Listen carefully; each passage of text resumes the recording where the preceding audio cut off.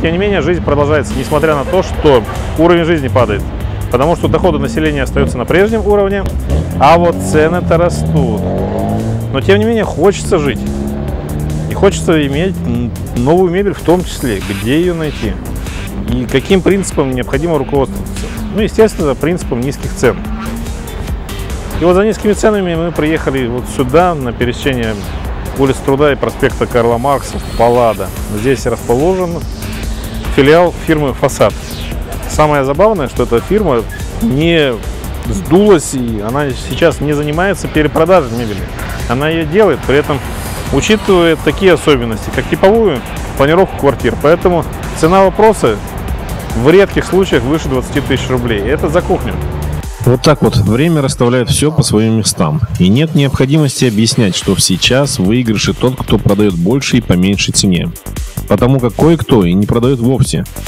А учитывая, что подавляющее большинство мебельщиков в аренде, то сейчас не время ждать одного покупателя, чтобы получить и прибыль, и отбиться. Тем более, что покупатели такие хоть и есть, но их, как всегда, мало. Принцип работы фирмы «Фасад» — это глубокая кооперация с несколькими предприятиями. Большие объемы, современные материалы и низкие цены.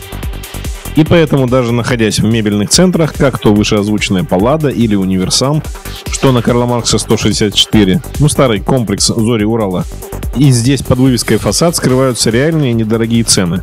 Вот так вот, в общем-то, теперь можно понимать, что с радостью надо не за новыми гаджетами носиться, а за теми вещами, которые служат дольше.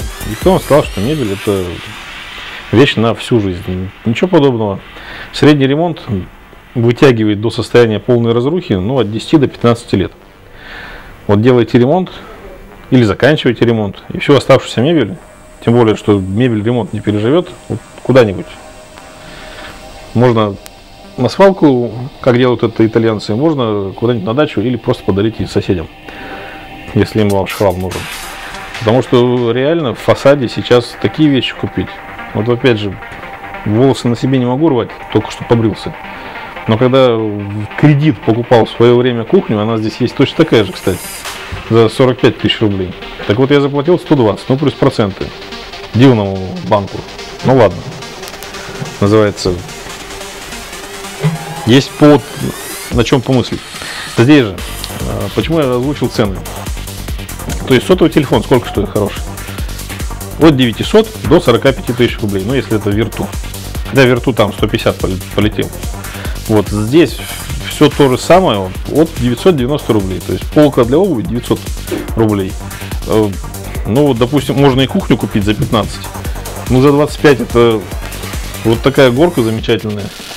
И вообще, что особенно меня радует в фасаде, то, что все делается в Магнитогорске. Вот эти все такие красивые вещи собираются, придумываются здесь, в Магнитогорске. При этом цена-то совершенно оптимальная и нормальная. То есть, покупая мебель в фасаде, вот здесь, вот на Карла Маркса 164 или в Палладе, вы не только экономите, вы еще и поддерживаете и даете работу ни одному человеку. Кстати, надо понимать, что мебель это не навсегда. К примеру, мебель не выдержит двух переездов или одного ремонта. В мебель влюбляться смысла нет.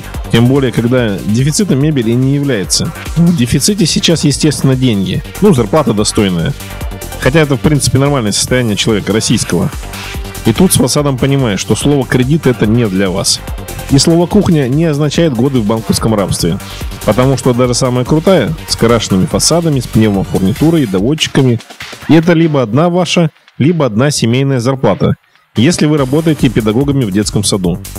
Служители же Фемиды на одну свою зарплату запросто упакуют здесь всю квартиру, потому что это недорого. Ну и вот на эту маленькую разницу и покупались иномарки, кто-то строил дилерские центры. Теперь понятно, за счет чего. Сплошное накидалово. Теперь вы реально знаете, сколько это должно стоить. То есть кухня, которая в фасаде стоит 42 тысячи рублей, если вы где-то видите за 120, ну все, плюньте, езжайте сюда. Она точно такая же, крашеная, навороченная, столешница, 5-10. Ну круто все. Если где-то вам заряжают за простую кухню с ракеты, езжайте сюда, здесь ее за 20 возьмете. Если стол компьютерный у кого-то 7-8 тысяч рублей, здесь он 3, 2. Ну и всякая остальная мелочь, которая даже не стоит тех денег. Она стоит ровно того, сколько вы тратите за один поход в магазин. То есть ну, полторы тысячи, там, тысячи, девятьсот рублей. Ну так вот. Вот она правда, галимая. И вот оно огорчение на моем лице, что где-то, когда-то, чего-то я купил не то.